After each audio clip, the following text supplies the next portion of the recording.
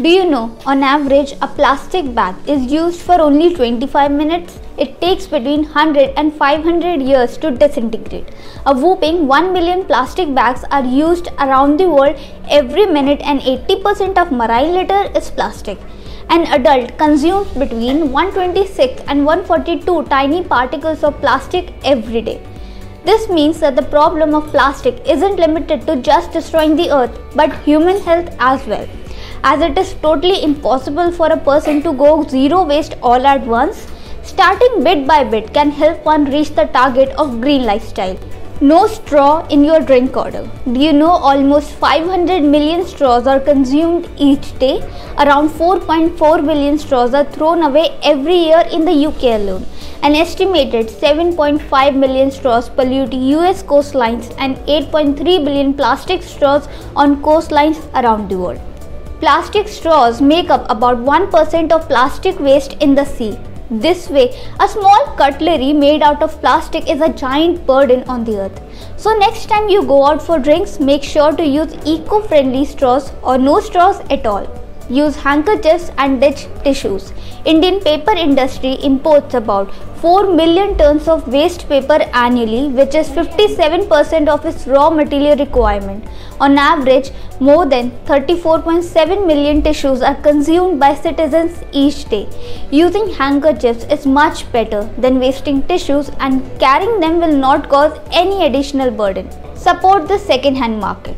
Always try to donate unused items in good condition. Supporting a second-hand market will help reduce new plastic waste firsthand.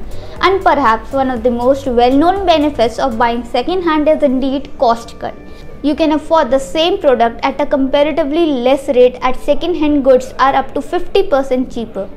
Turn old sheets into masterpieces. YouTube is flooded with thousands of DIY videos to reuse old sheets in a much better and convenient way. You can cut them into handkerchiefs, rags, napkin or even cloth bags. You can knot up a boho style braid to make a brand new rag for your home. If you are too tired to do anything, you can also use them for mopping or cleaning. Create new clothes for your pets, make a wall hanging, create an apron or make towel out of old sheets. Purchase items without plastic wrapping.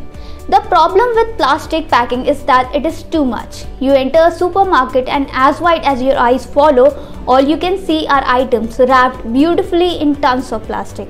This plastic waste can take up to 1000 years to degrade naturally. They end up in oceans, jungle and destroy our biodiversity. So it is much better to avoid purchasing items packed in plastic. Visit your old neighborhood farmers market while carrying a cloth bag along and buy fresh produce at a much less price than the supermarkets. Save money and nature. Dish disposable pads and tampons for cloth pads.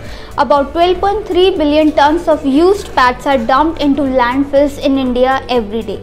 Most tampons contain harmful chemicals like dioxin, chlorine or rayon that can have detrimental effects on the environment. These chemicals soaked up by the ground and are further released as pollution into groundwater. So switching to a cloth pad or menstrual cup is much better than regular sanitary pads or tampons. They are comfortable, cheaper and eco-friendly. Plan meals and avoid food waste.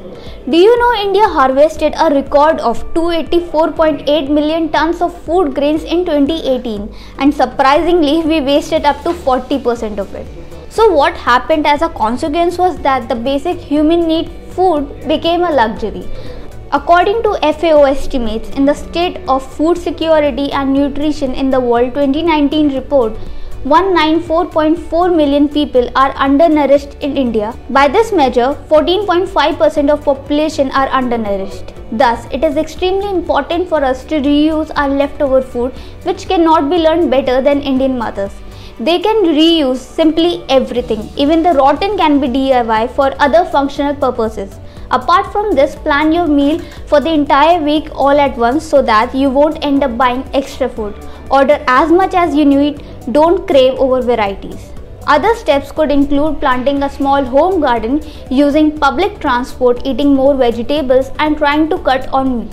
In essence, going green is a journey that needs to be loved and appreciated and not rushed.